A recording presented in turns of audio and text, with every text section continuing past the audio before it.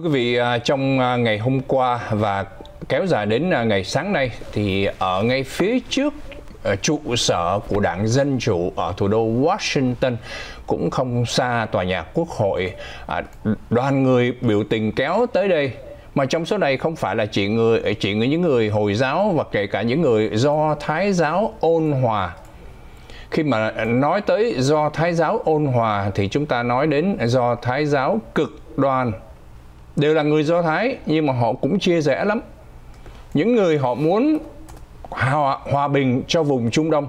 có nghĩa là tạo ra cái vùng đất cho người palestine và đừng có dính dáng và gây gỗ chiến tranh với nhau nữa. Còn cái phe cực hữu đó thì lại muốn là vùng đất đó chỉ là của người do thái rồi thì bây giờ họ xuống đường biểu tình nhưng mà họ biểu tình phía trước trụ sở của đảng Dân Chủ ở thủ đô đó là để chống ông Biden và chống cả các thành viên của đảng Dân Chủ luôn. Ờ, lý do chống đó là ngày hôm qua sau cuộc họp thượng đỉnh với ông Chủ tịch Tập Cận Bình của Trung Quốc đó thì cái chuyện đó là chuyện giải quyết giữa Hoa Kỳ và Trung Quốc nhưng mà phóng viên đó họ muốn à, chất vấn là ông nghĩ sao và tại sao chính quyền của Biden không áp lực mạnh mẽ hơn nữa lên Netanyahu của Do Thái để ngừng bắn. Câu hỏi ở đây là ceasefire, ngừng bắn chứ không phải là pause, tạm ngừng. Trong vòng 4 tiếng đồng hồ rồi lại bắn tiếp rồi ngừng 4 tiếng đồng hồ lại bắn tiếp. Đó là pause. Còn ceasefire đó là cho phép ngừng bắn hẳn trong vòng 2 ngày, 4 ngày hoặc là 5 ngày. Thì áp lực hiện nay lên chính quyền của ông Biden là tại sao không áp lực lên chính phủ Do Thái? Uhm, trong khi đó thì Hoa Kỳ lại tiếp tục tìm kiếm cái nguồn viện trợ lên tới 14 tỷ Mỹ Kim cho Do Thái. À, Tổng thống Joe Biden đã trả lời một câu mà khiến cho những người biểu tình xuống đường phản đối đó. Thì ông nói như thế này chỉ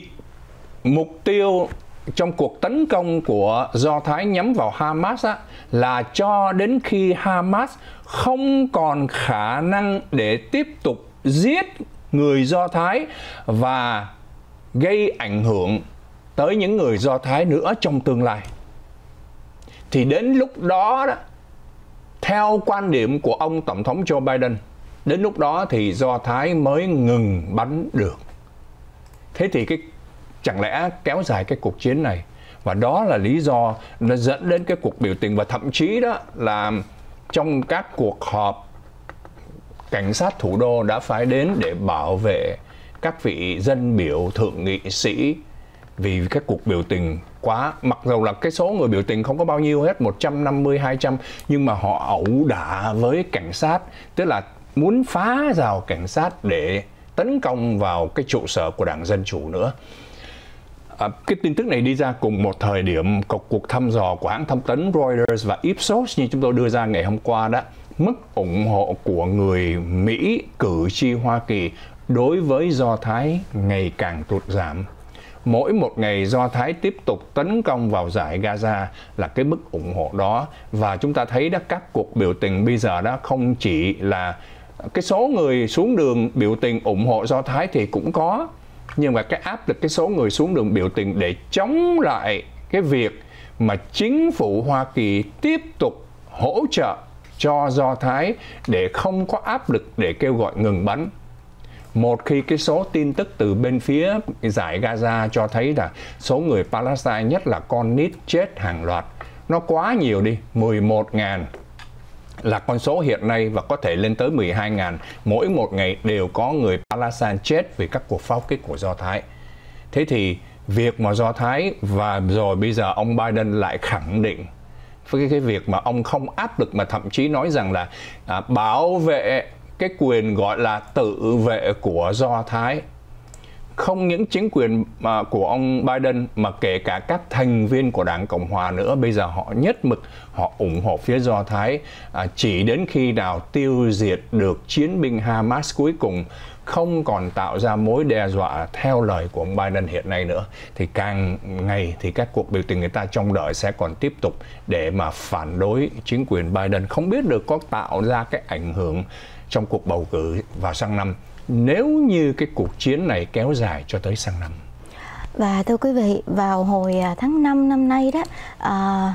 chúng tôi có tường trình đến một cái bản tin à, không biết quý vị còn nhớ đó là có một cái à, à, medical lab của à, một công dân Trung Quốc mà à, mở ra ở ngay trên đất Mỹ này một cách bất hợp pháp và à, chỉ vô tình bị các à, giới chức của hai thành phố đầu tiên là Fresno rồi sau đó đó lẳng lặng dọn sang Ridley. Cách Fresno cũng chỉ khoảng có gần 10 dặm thôi thưa quý vị. Thì à, à, lúc mà chúng tôi đưa tin đó là báo chí họ cũng đang theo dõi nhưng mà rồi họ bị mất dấu sau khi mà cái à, cái cái cái lab này uh, bí mật dọn đến Ridley thì giống như là lúc đó báo chí cũng không biết là cái chuyện gì xảy ra. Tại vì liên tục hai cái thành phố họ muốn mở cuộc điều tra nhưng mà họ gặp khó khăn rồi những cái trì hoãn một cách rất là bí mật. Thì cuối cùng thưa quý vị sau khi mà uh, dọn đến Ridley đó lại nhờ một cái uh, nữ uh, cô này đó là nhân viên của um, um, cơ quan um,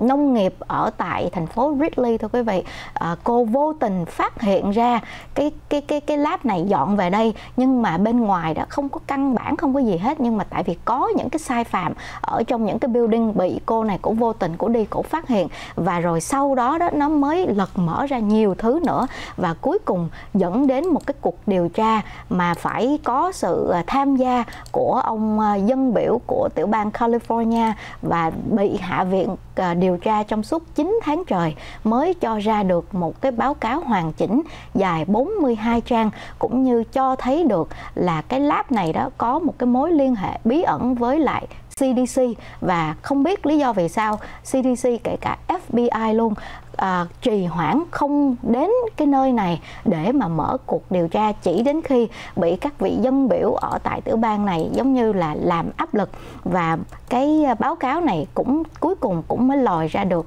người chủ thật sự của cái cái lab này. Và cái tên này thì có một cái mối quan hệ mật thiết với lại à, chính quyền cộng sản à, Trung Quốc. Thì à, à, chúng tôi xin được gửi đến quý vị cái phần tin à, chi tiết. Thì à, đây là cái hình ảnh quý vị cũng nhớ khi mà cái lab bị phát hiện lần đầu tiên là vào tháng 12 năm 2022 ở thành phố Fresno đó thưa quý vị. À, lúc đó với có à, cái cái lab này có cái tên là Prestige Biotech. Thì cái cái phần đó chúng tôi sẽ không lặp lại nữa. Nhưng mà à, các vị à, à,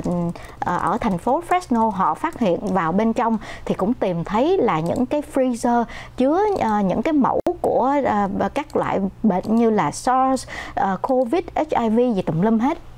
nhưng mà uh, phía Fresno lúc ban đầu là họ cũng trì hoãn không cho người đi vào kiểm tra rồi vân vân rồi tự dưng uh, giống như là đánh động đến uh, nguyên một cái ổ này khiến cho chúng chỉ trong vòng có một tuần dọn nguyên cái lab này đi mất tiêu. Thì Fresno lúc đó đã dọn ra khỏi thành phố của họ cho nên họ không có truy cứu nữa. Thì đến cuối cùng lại dọn đến uh, thành phố Ridley. Thì uh, đây là uh, cô uh, Justly Harper. Thưa quý vị là cái người nhân viên làm việc cho um, cơ quan uh, uh, nông nghiệp. Uh, chuyện gì xảy ra khi mà cô này cổ đi thanh tra trong cái vùng này? Thì chúng tôi sẽ quay trở lại tiếp tục phần tin tức này. Kính mời quý vị tiếp tục theo dõi.